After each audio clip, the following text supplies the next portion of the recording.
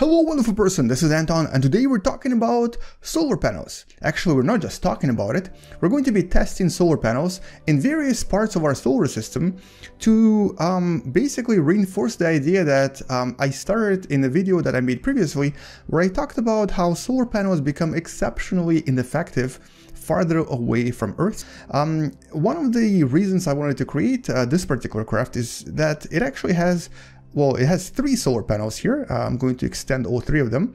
And in some sense, it actually resembles the um, record holder, the Juno mission. And why is it a record holder? Well, it's because it's the farthest solar panel based mission away from the sun. We're going to actually see how effective it is in real life because I've actually just installed the most realistic mods for Kerbal Space Program which essentially turned my game into exceptionally realistic simulator of space exploration. Now, this is an actual model of Earth in the, in the back there, um, and these solar panels also follow a very realistic um, way of generating energy. And so what I'm going to do is we're going to basically take a look at how many watt uh, each of these solar panel generates depending on the location in space. Here we're going to start with just Earth orbit, basically, you know, solar panels on Earth. And this particular panel, if you take a look at it, right here um, generates just over 1100 watts um, with about 98% efficiency. It might be difficult to see these numbers, but basically what this means is that this relatively large panel generates um, about double the electricity needed to power the computer you might be using to watch this video, or in some sense, um, actually most appliances in your kitchen. Um, so this is actually quite a lot of energy, and Juno Mission actually has three similar panels, um, but as you'll see, they actually become really ineffective. Now, so just remember the number, it's just over 1000, so it's about 1100. Now, let's uh, move this particular craft to orbit of Mercury, just so I can show you how much more effective the panels get so close to the sun. Now Mercury's distance is about, you know, about 40% the distance of Earth to the Sun. And so here we are in this particular orbit, uh, but can you take a guess and, um, well, basically guess how much energy will these panels produce compared to Earth? Now, like I said, it's about 40% the distance, so I think a common sort of misconception is to assume that it's going to be double the energy. Now let's take a look at the panel. It's currently producing over 7,000 or close to about 8,000 watts. That's almost 8 times as much. And this is where things get really, really tricky. And this is what most people don't realize is that the distance actually makes the panels um, much, much less efficient the farther from Earth you get. So um, for two distances, you get one fourth. For four distances, you get one sixteenth. Okay, let's just do this more practically by going to those locations so you can actually see. So remember this, around Mercury, it's just over 7,000, or I guess in this case, it's about 7,500 at 96% efficiency, which would be close to 8,000 if it was 100% efficiency. It's actually quite a lot of energy. So producing solar panels around Mercury would be a very, very effective way of producing energy. And our next stop is the red planet, Mars.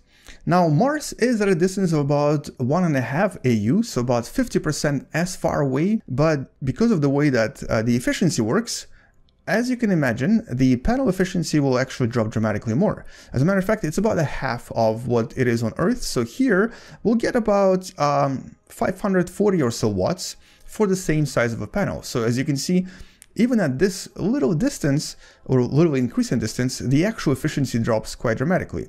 So the Opportunity rover that you see on the screen right now that actually was active on Mars for a very long time and has basically the record for the longest distance traveled by a rover, um, has actually been disabled by a Martian storm because its panels are not big enough and um, because I guess a lot of uh, the area on the panels was covered by Martian dust and so it's no longer producing enough energy. Uh, we're still hoping to recover this rover maybe sometime in the future and we're hoping to maybe even uh, somehow re-enable it but for now the actual rover is uh, kind of un unofficially lost. So in other words, if you were to take a look at the total area of panels here, on Earth, uh, this would produce twice as much energy as it does on Mars. Alright, so this is kind of where officially we would technically stop using panels. Even on Mars they're not going to be that efficient, but if we go farther away from the sun, the efficiency of solar energy decreases quite dramatically. So let's go to our next destination, the asteroid belt, but specifically Ceres. Now this is um, about 2.5 AU away from the sun, so 2.5 times the distance of Earth to the sun. And these panels, if you were to look at their efficiency now, even with 100% efficiency are only generating 126 watts. That is a huge drop of efficiency. 126 watts is essentially approximately like 8 times less than it was on Earth. And 126 watts is actually relatively little. Uh, I believe one of my older laptops uh, was about 125 watts rated. And so in some sense, this is actually a lot less than um, many spacecraft might even need. So don't expect to bring a very, very large amount of appliances to Ceres, assuming you're going to be powering them using solar panels. And now let's go to where Juno is, basically Jupiter. And I think I'm going to park right here uh, next to Io, the closest uh, Galilean moon of Jupiter, uh, mostly because it's beautiful and also because it's relatively safe here in comparison to being around Jupiter where things could always go wrong.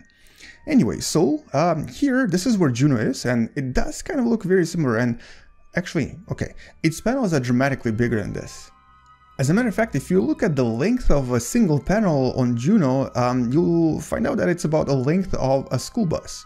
It's really, really big. These are huge, huge panels, and the actual Juno itself is also pretty big as well.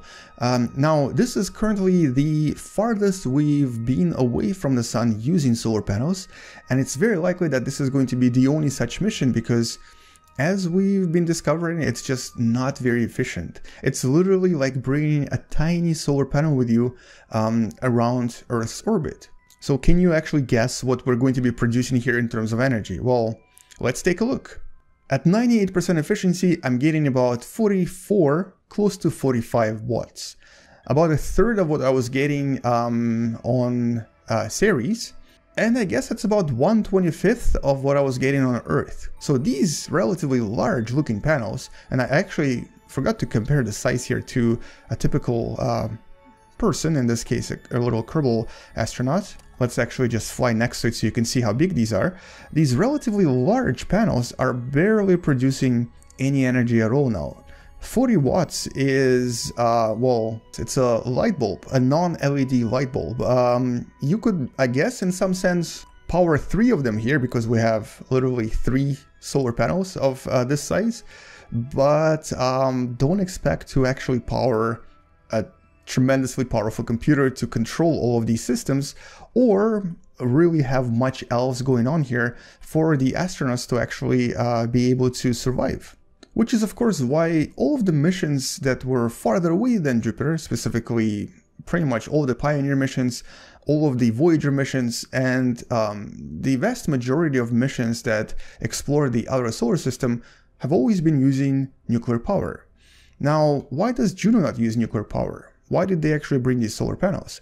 I'm sure there are other reasons, such as, for example, actually finding out how efficient this is, but the biggest reason is, of course, that we are unfortunately unable to produce more plutonium because of all of the uh, nuclear weapon regulations. Plutonium by itself um, is actually a byproduct of nuclear weapon production, and uh, for the most part, because of all of the agreements that were made between USA and USSR, and in, I guess, more recent case Russia, the plutonium production has actually been pretty much entirely stopped. Now, so that also means that um, the space missions using plutonium are in a bit of a pickle right now.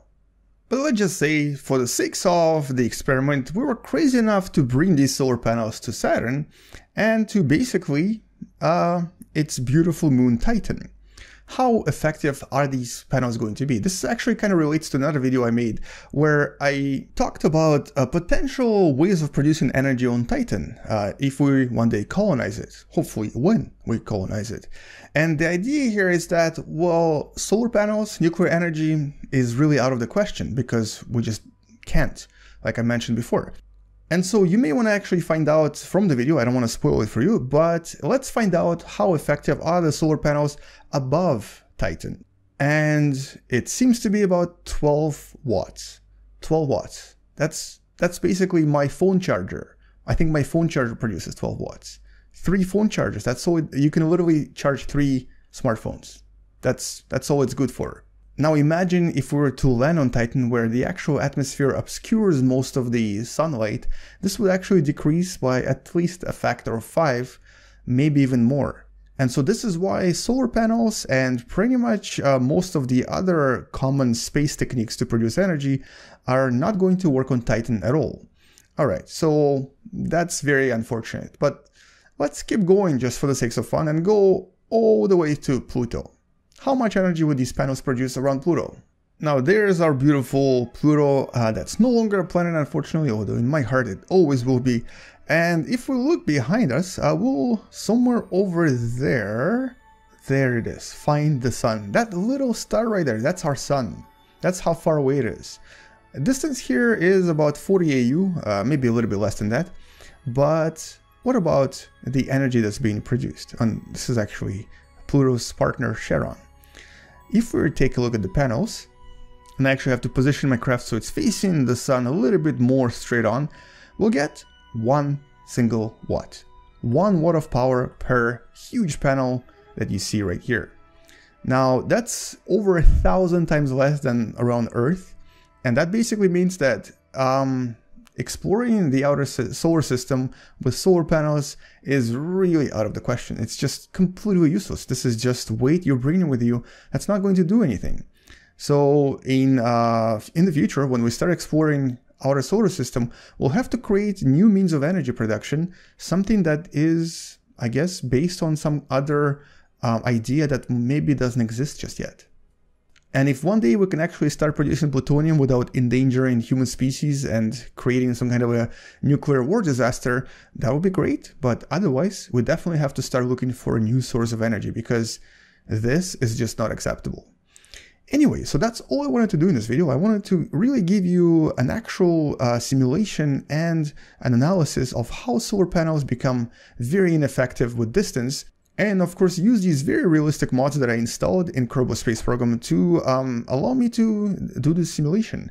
Now, in one of the future videos, we might explore this a little bit further, and hopefully we'll actually even find some kind of a idea that could potentially work um, in real life as well, and we might even be able to recreate it in the Kerbal Space Program. But for now, that's really all I wanted to do. And on this note, thank you for watching. Hopefully you enjoyed this video, and hopefully now you learn a little bit more about both solar panels, space exploration, and in some sense, the little gap that we have in terms of producing power in the outer regions of solar system. Come back tomorrow to learn something else, subscribe if you still haven't, and maybe even consider supporting this channel on Patreon. I'll see you guys tomorrow, space out, and as always, bye bye. And now what I want to do is actually land on Titan and find out what we can actually generate there as well. Let's try this in one of the future videos.